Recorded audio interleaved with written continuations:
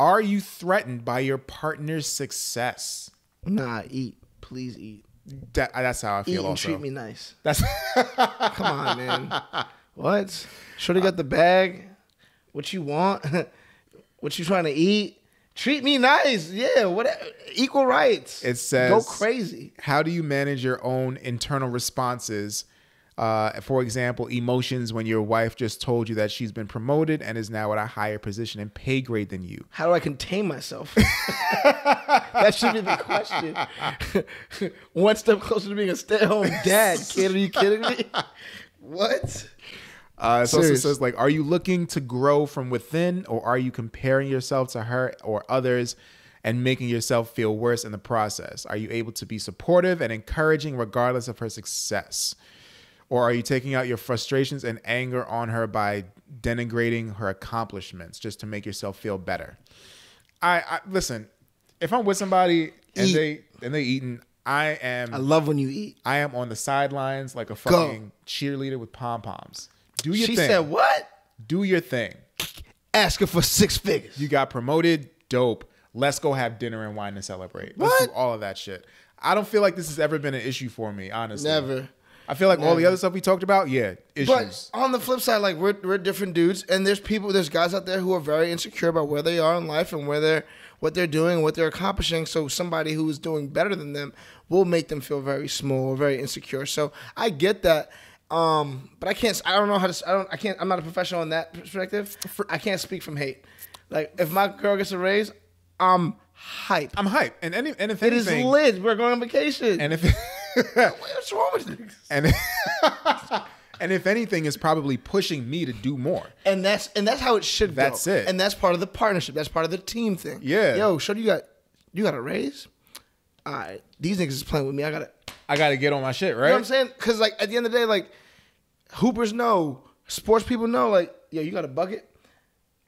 I'm getting the bucket back. Yeah. You got a raise. I gotta get promoted. I got- I got- I gotta making go six? I gotta something. make six. Yeah. I gotta hold my own. And that's, but like that's just some people. Again, there's other people out there who are like, you're making six. Oh, I suck. You know what I mean? Like I don't, I don't understand why you like that, but Mm-hmm. That was it- that um you somebody. that episode of Martin where uh he was where Gina got a promotion at her job and she started making more money than he was making at the radio station. And then people started calling into the radio station and being like, I heard Yeah. your woman's taking care of you. I heard your woman makes more makes more than you. Yeah, it was getting on on man. And then they went out for dinner and people were like handing him donations as he's at dinner with Gina. I, I don't I, I don't think I could ever be that guy who's who's with somebody and they're doing great and like all this success is coming their way and I'm just like it's mm, it's a we thing now. don't do that. We doing great. especially if you're in that partnership and they're making you feel like you like you said like like we're on a team.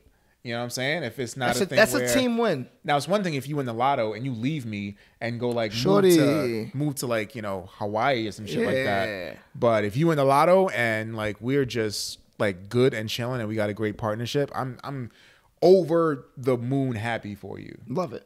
Absolutely. Love it. C- conversations about intimacy. Ooh. Um, Ooh. that is something, man, that you have to just both get into a place where you're comfortable um, receiving Mm-hmm. uh, feedback um, and giving feedback. I'm very comfortable And- receiving. It's are you? Wait, Yes. Receiving feedback or Keep going. It was a failed attempt. Keep going. Keep going. freak man. You think it's gradual? I think I think I mean, hey, listen. There's some people like, based on personalities, right? So there's some people who are very uh, blunt and straightforward and dope, and then there's other people. You have to know your personnel. Can the per- can I deliver this in a loving and receptive way? Can you re- can you receive this Uh-huh. in the same way I'm, I'm I'm delivering it? Those are those are those are key things to know. I think conversations about intimacy are very, Very important. needed, important. Challenging. They're Um, challenging. They are challenging. I, I know I haven't had a lot of them in relationships. Yeah, that I've no, been no. in. I've, I've I've only had like one in my current one, and like that was like I was like I had to learn how to receive feedback, and it wasn't even crazy. Like it was, it was never crazy. it, like, but like also just be able to receive feedback and be like not offended and not receive from that same place of like Yeah. she's coming for me. It's like nah, like we're a team and she wants me to do better. That's it.